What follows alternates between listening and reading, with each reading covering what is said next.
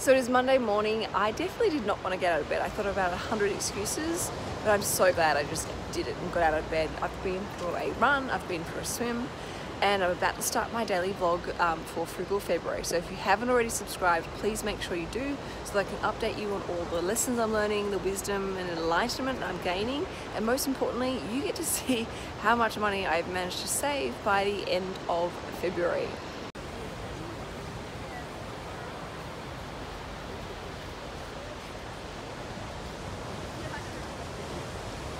Um, this morning when I was getting dressed, I realized I have no t-shirts. I've got t-shirts for the gym, which are like really old and falling apart, but no t-shirts just to wear with jeans. Um, anyway, I was had to quickly return something in a shop, and weirdly they're like, "Oh, you've got a thirty dollar like gift note here."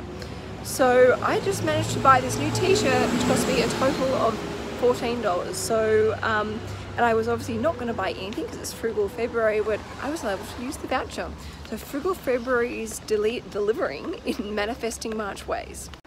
The good news is I didn't spend any money today on food, lunch or coffees. I took lunch to work, I had coffee at home before I went to work and it felt great. The only thing that I did buy was this t-shirt for $14 so I get to put $6 in my tin. Also, the other good news, last week when I got that parking ticket, um, I think I've managed to recover the cost of that money to fund it because I realized I have been really stretching out the food in my fridge, making it last and cooking pretty economically. And I, what I would allocate for my grocery bill beyond my Marley Spoon um, meals I barely touch. So that's pretty much going to cover most of the parking fine that I got. I just now need to work out how to cover that medical bill when I got my skin checked. So I'm realizing another major benefit to Frugal February. Not only does it save you money it saves you time. I had a really busy day and I desperately wanted to get to the gym and have a good workout um, but by the time I got through my mountain of work, it was just too late. I couldn't, like, didn't have time to sit in traffic and get there.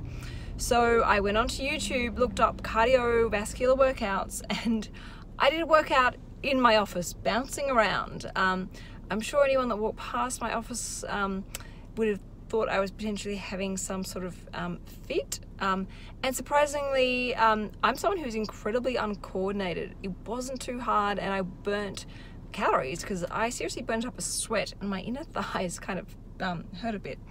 Anyway, so loving this new discovery. I'm now on my way to pick Rock up from daycare and I'm going to grab some stuff from the um, supermarket.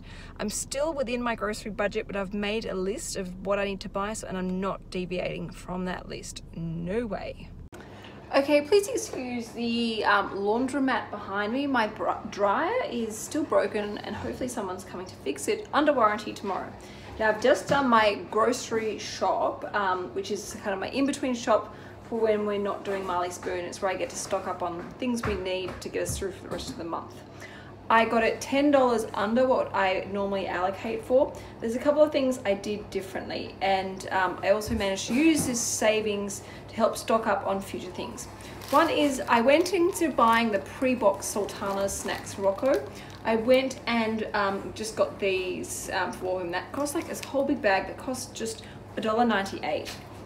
The other thing I bought was this quiche. Now, admittedly, this is a gourmet quiche. It was $17, which I thought was expensive but I thought it was perfect for nights like tonight where I simply do not feel like cooking and I will eat a quarter of this with a salad for dinner. Rocco will also probably eat a quarter of this and then the other half um, I can have for lunch tomorrow and Tom can also have for lunch tomorrow. So when you break it down per person, it's actually quite cost effective and just so easy to throw with a salad or you know or a potato salad or something like that.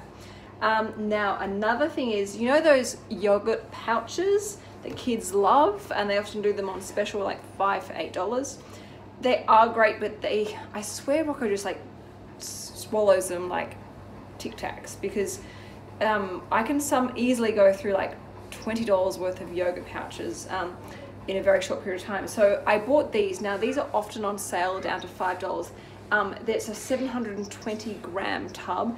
This yogurt is so delicious and you can throw some yo um, some frozen berries on top um, to help like thicken it up and make it bigger. But Um, that is so much more cost effective.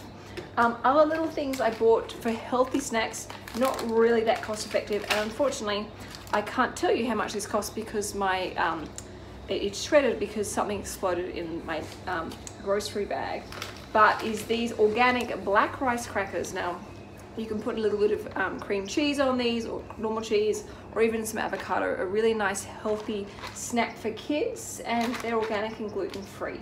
And then the other thing I bought, now this is a bit different, is um, I got some cleaning vinegar.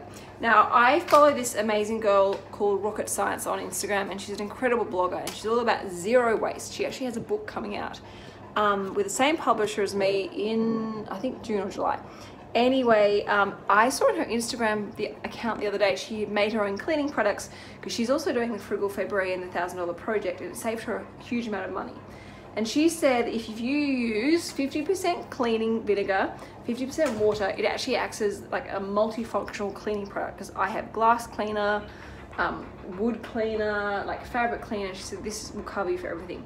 Now this cost, I think if I remember correctly, just over $2. So I'm gonna test this out and see if this saves me money on cleaning products because cleaning products are incredibly expensive. Um, and also I like this because it, it's non-toxic, so I'm assuming it's better for the environment than some of the other stuff we put in our homes.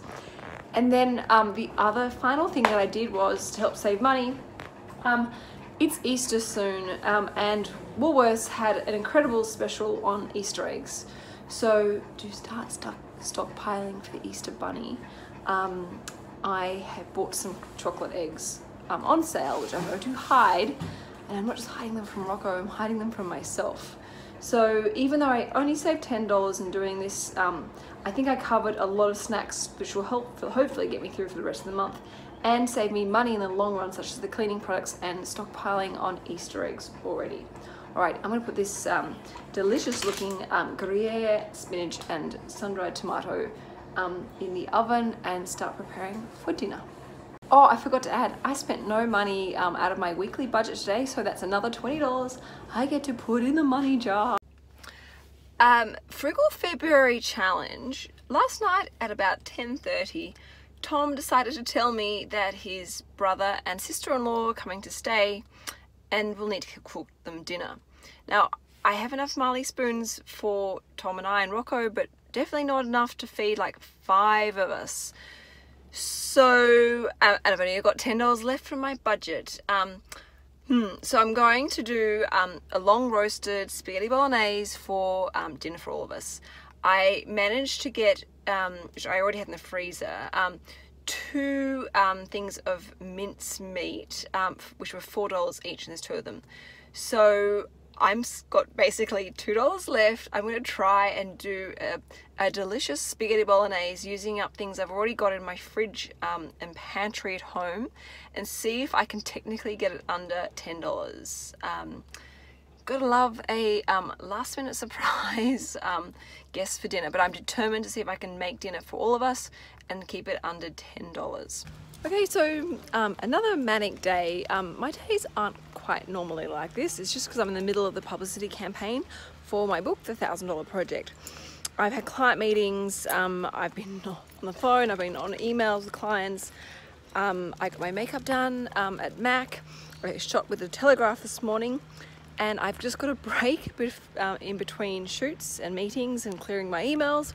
So I'm gonna go for a quick walk with the dogs and um, go stretch my $2 budget to see what ingredients I can buy that I can put into tonight's dinner, which is spaghetti bolognese for five people under $10. Wish me luck. Oh, and also I've discovered, or not discovered, I've liked them for ages actually, but these are protein balls from Boost Juice. Um, they are three for five dollars and they're a great chocolatey sweet snack, but quite healthy. It's just full of like nuts and honey and coconut and I think even Nutella.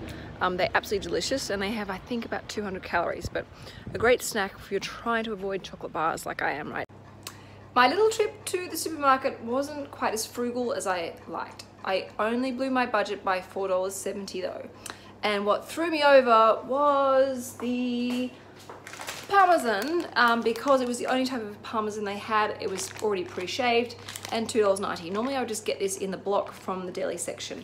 So, um, and by the way, the meat I bought for $4 wasn't actually from Coles, my bad, it's actually from Woolworths and you can see it was $4. So I have two of those. Now to make this dinner as frugal as possible, I've got the um, mince roasting with one onion. The onion cost me 70 cents. I had all the herbs and obviously salt and pepper. I'm gonna add one um, can of thick um, tomatoes, which have got garlic and basil already in that. Um, I've got my one and only brand that I buy for pasta, Barilla. And um, I've got a tiny bit of red, like cooking red wine. And I'm gonna basically just sear it and then pop it in the oven at 80 degrees until we're ready to eat it. And because Tom's um, brother and sister-in-law, they may be running late with traffic, I can just keep this in the oven for as long as possible. And the longer it's in there, the yummier it's going to taste.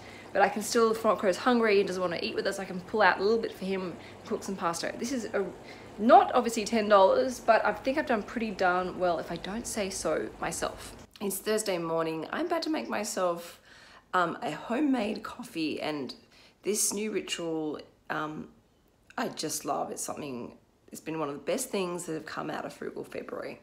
Now, on that note, I am actually going to be making at the end of Frugal February, when I count out how much money I've saved, I'm going to be sharing with you the things that I've learned from doing Frugal February. Because remember, for me, Frugal February this time wasn't about depriving myself or being mean. It was about opening myself up to um, learn new things, get a deeper understanding of my values, and kind of just see and be open to what the magic of Frugal February um, gives me. And I have to say, this time has been a beautiful experience with Frugal February. I've learned a lot and I can't wait to share with you. And every day I'm learning a new thing. So if you haven't already, please make sure you subscribe to my channel so you can find out what's going on. Better go, Rocco just woke up.